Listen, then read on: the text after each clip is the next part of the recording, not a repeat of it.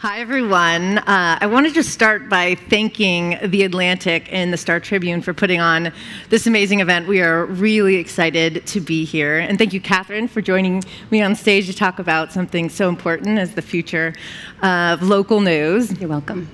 So, I'm here representing Google, and I want to just take a moment to share uh, why we care so deeply about news at Google. Uh, we're a search engine, and it's absolutely critical that we have an open and flourishing web so that we can fulfill our mission statement of making all information useful and accessible to the world. So it's absolutely critical that we have a flourishing open web. So we spend a lot of time supporting the news industry through the Google News Initiative and also through our partnerships with publishers like Graham Media Group, uh, as well as The Atlantic and the Star Tribune. So really excited to have Catherine here today. As, as they mentioned, Catherine is the Chief Innovation Officer at Graham Media Group, who owns and operates seven local stations in the US, and in my opinion, is really one of the most forward thinking publishers in the country. Uh, so excited to have Catherine here to have a different perspective. And I think a lot of times when we talk about the future of local news, we think about it through the lens of a legacy print organization. Uh, but I think there's a lot of great innovation coming out of the broadcast groups. So we're going to have a conversation about that today. So Catherine, to kick it off, why don't you talk a little bit about why you think it's so important for broadcasters to start innovating now?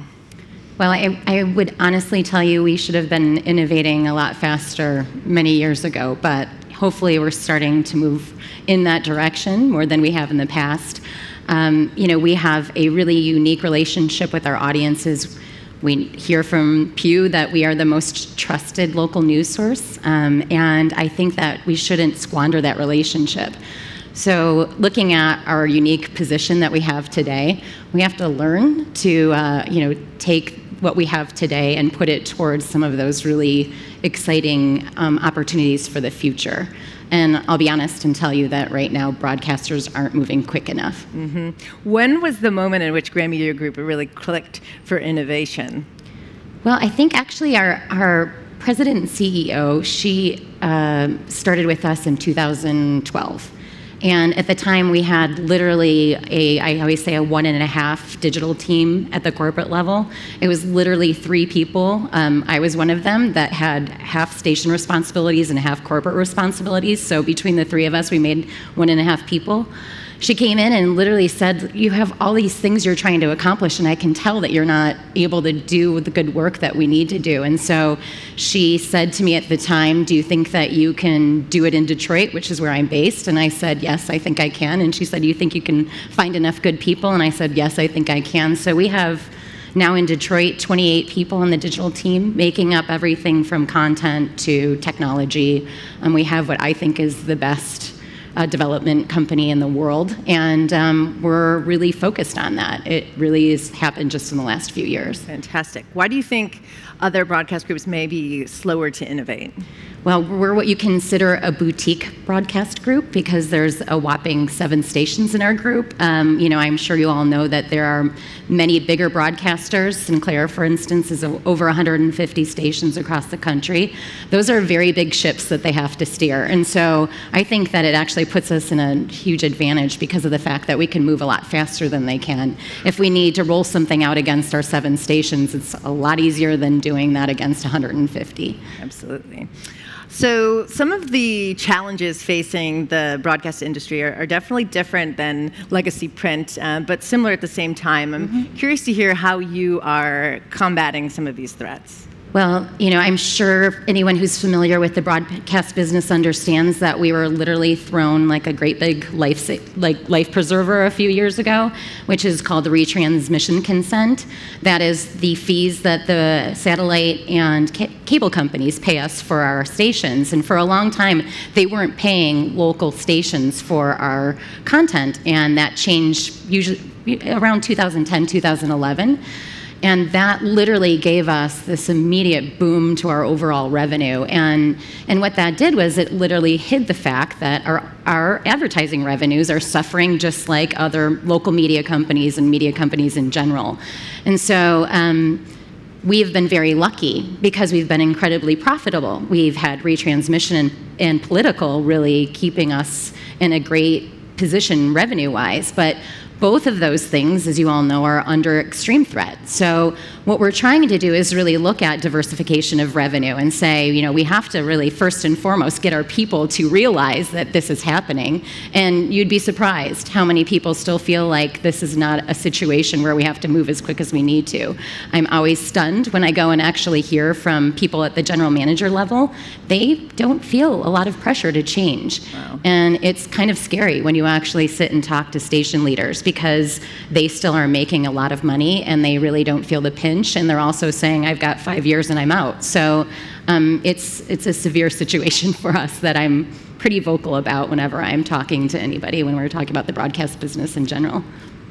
So you talked about revenue diversification. What does that look like at, at Graham Media Group? Well, first and foremost, I think that we're really looking at what we're really good at. And one of the things that we're, you know, obviously video as being something that we've always had this um, unique position in the marketplace.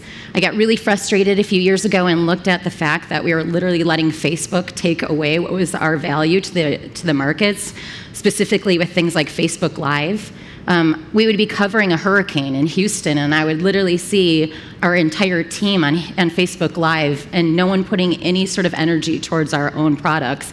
And so I immediately said, we've got to stop doing things like that. And so um, making sure that video is, um, you know, putting the right kind of technology and resources behind it so we stay ahead of the pack, frankly, and not giving up our, our dominance in that position. And clearly we know that video is a place where you can actually make money. So if we continue to innovate on the video side and stay ahead of the pack, I think that that's going to allow us to continue to, you know, find new ways of developing new revenue streams. The other thing that we're really looking at is, believe it or not, membership for broadcast. And when I first started talking to different people about this idea, um, especially people coming from maybe a more traditional newspaper background, they kind of couldn't understand what we were talking about because, of course, they're thinking it's more paywall or subscription based. And the truth is, is that our local television stations, because of our unique relationship with the audience, the fact that we have these people that are in living rooms and bedrooms and are coming across the screen every day, that relationship is insanely strong. We also know too that we can move the needle. And you know, I have people on my team that have come from different backgrounds and different media, and they'll say, We ask the audience to do something, and they do it. I've never seen the power of this before. Yeah. And so, kind of leaning into that and exploring what membership could mean on the broadcast side mm-hmm. everything from direct to consumer to being able to actually look at events, all things that are being done out there, but frankly, things that we always do most times for our advertisers and not actually for ourselves. So we're really looking into that and exploring that in a big way. We got a Google GNI grant um, to be able to help support that effort this year. So very excited to be leading the entire industry on looking at what membership can mean. We are also really excited about what that's going to look like. And I know you launched a pilot back um, last year with San Antonio Station. We did. I'm curious to hear what did what did membership look like in San Antonio?